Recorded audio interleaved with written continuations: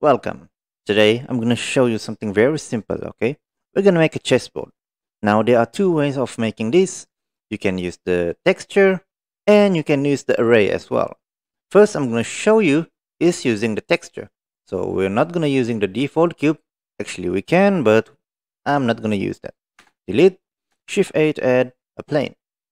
So that's our base, base, uh, base mesh there. And let's go to shading here press new.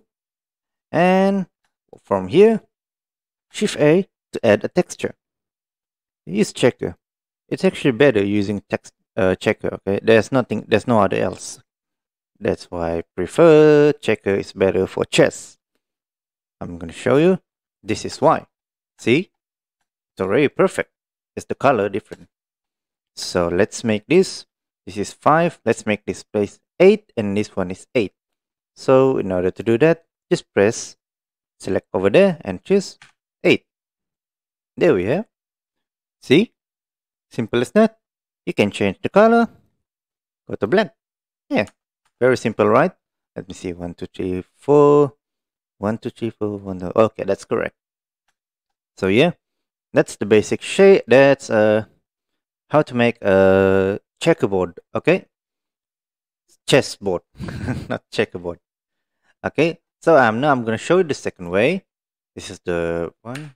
Grab that to the Y. I mean, yep, to the Y. I mean, it's better if we just hide it. Okay, so let's add another plane. So this is to be the the the the second way. Can just add and this one. Uh, let's go to this and go to this. Okay, add a loop cut here by pressing Control R, okay, to add a loop cut. So now go to shading.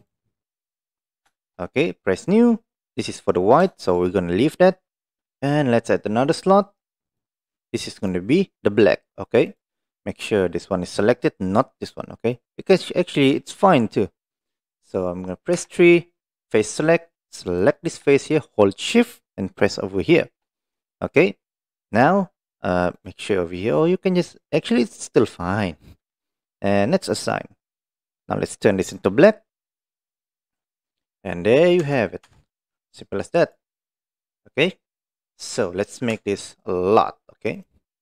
You can you can actually do something like using array is better. Okay. This one. See? Four.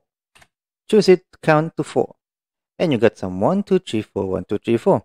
So let's say you want to the other side. Don't apply this yet. Add another one. Okay.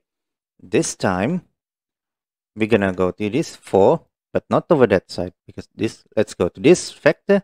Make sure you're not mistaken by this and this one. This is the x and this is to, this is to be, this is the x I mean, and this is, change it, this one, 0, and choose y, okay? Choose the y okay and press the same value as the uh, the previous array before one.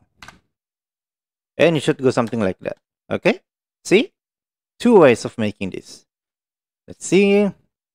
Uh, just let's scale it. Up press 7 let's scale. Grab that to the x. Grab that to the y. Scale. Grab that to the scale. Oh whatever. See Simple as that, right? It actually quite look the same. Let me turn this off, the overlay. So you can see the full preview here. Actually the same, okay? But there are two ways. So which one do you prefer? Using a texture or using the array? Okay? So it's up to you how to make it. Okay? So that's all for today. Thanks for watching. And I'll see you next time on the next tutorial. Okay? And oh wait, uh I believe there are lots of ways as well. So it's up to you to find out what do you think that you comfortable and yeah that you like. Okay, so okay, that's all for today. Thanks for watching, and I'll see you next time on the next tutorial. Okay, now bye. Alt F9 and 3, 2, 1, cut.